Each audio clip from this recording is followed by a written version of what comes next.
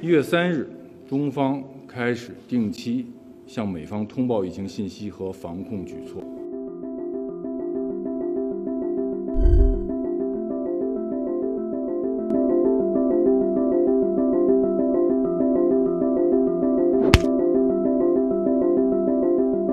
目前的这个资料表示呢，它是肯定的有人传人。At least six people have died in an outbreak of the new coronavirus, which has now reached the United States. The Centers for Disease Control and Prevention has confirmed the first U.S. case has been detected in Washington state.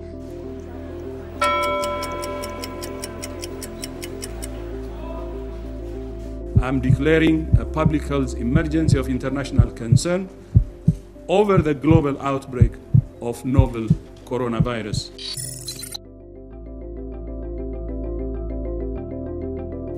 People die from the flu.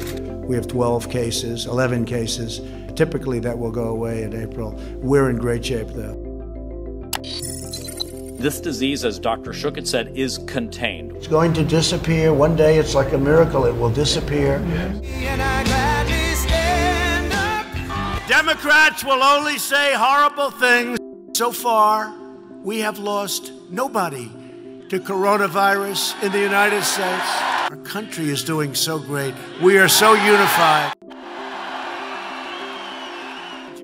WHO, the assessment that COVID 19 can be characterized as a pandemic.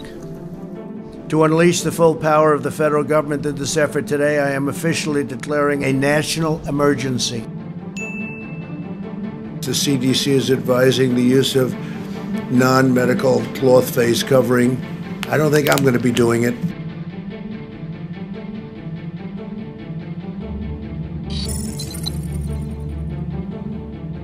Sixteen thousand deaths in New York. That means you're going to have tens of thousands of deaths outside of New York. You know, I would say between 100 and 200,000 cases, but I don't want to be held to that. We could hold that down, as we're saying, to 100,000. We all together have done a very good job.